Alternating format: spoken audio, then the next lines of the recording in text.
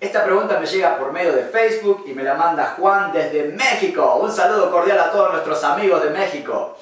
Juan me pregunta, ¿cuántos días a la semana debería hacer ejercicios para bajar de peso? Bueno, eso es relativo. Primero principal, los días y la frecuencia, con la, intensidad con lo que lo hacemos, ¿verdad?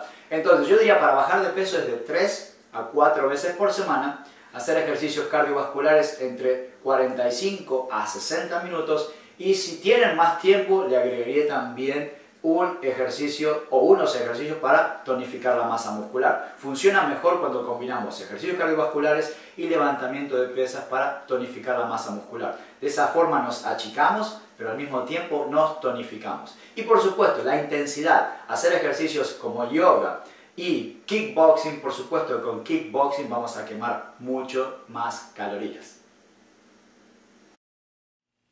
Gracias mi gente activa por mirar mis videos. Ahora quiero invitarte a que te suscribas a mi canal.